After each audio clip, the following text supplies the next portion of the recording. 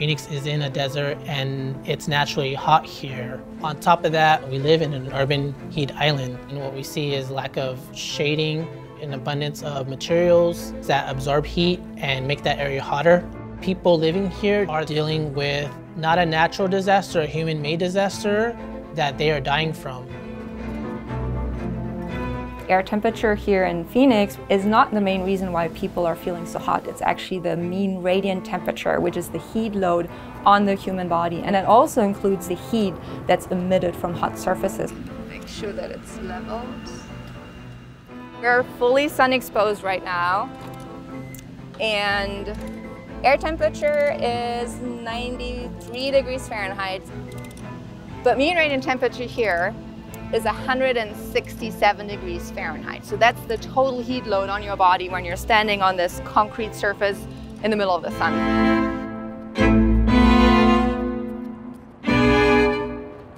The urban heat island effect is where we have an area of built land, not trees, and not the same level of grass that we have in areas outside of cities. In these urban areas, they absorb even more heat and they keep it in. So even during the overnight hours, temperatures don't drop as much as the areas around them.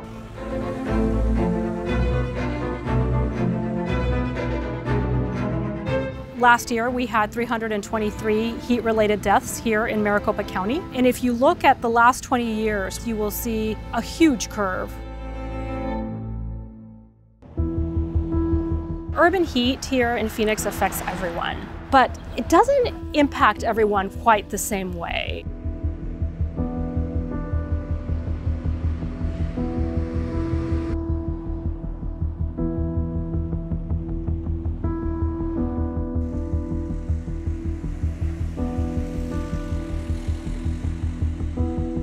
If you look at a map of the Phoenix metro area, you will see that the communities that have the highest temperatures also have the lowest tree canopy cover and the highest child poverty. For us here in Phoenix, it's really about a lot of communities on the west side of the valley and then on the southern part. All of those things are connected and to be able to really think of solutions as we move forward, we also need to be able to look back at our history and what some of those decisions have been.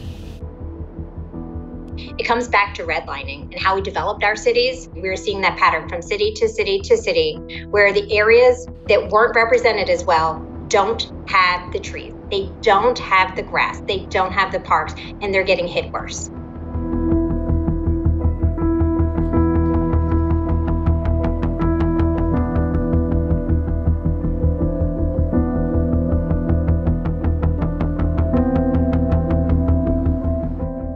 What redlining is, is really just fencing off an area and really stamping it, labeling it already as an area that is considered high risk of an investment.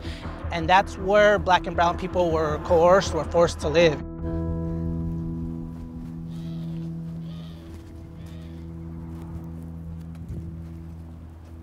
Here and just along this, you can see the community just by the school that I teach in. A community that suffers from lack of any shading. There's really hardly any tree canopy here.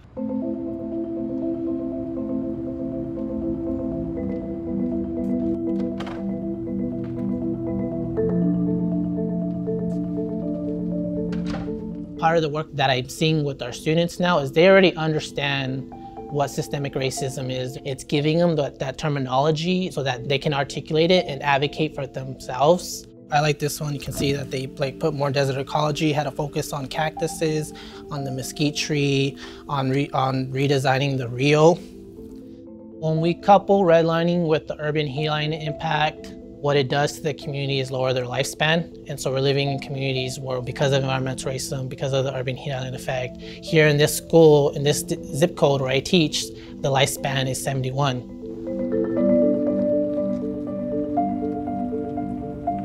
I lost my mom at a young age um, to lung cancer, and we don't know how she got it. She never smoked, but it could have been the carcinogens, the pollution in the air, and it fuels my fire. Because my mom was a very joyous person, Many of our communities suffer from lung cancer, asthma, and when I got this information, I began to understand, well, why did my mom pass away from lung cancer? Why were we pushed out? Why were we displaced? Why did I grow up living community to community? those are the stories from my own lived experience that I carry with me in the work that I do.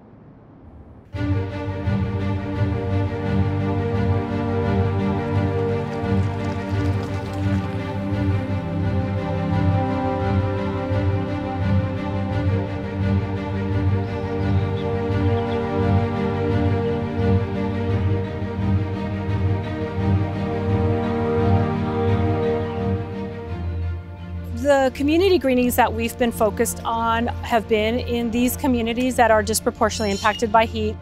We try to increase trees and vegetations in these areas that have been identified as hotspots. But they're also a great way to raise awareness. The big message that we are trying to communicate to these communities is that there are things that can be done and that nature can play a really important role. We are so far along with our changing climate that we need actions on a global scale, a federal scale, and a state and local scale. And the way climate change plays out is really different from location to location. So those people on the ground are going to know how to help their community best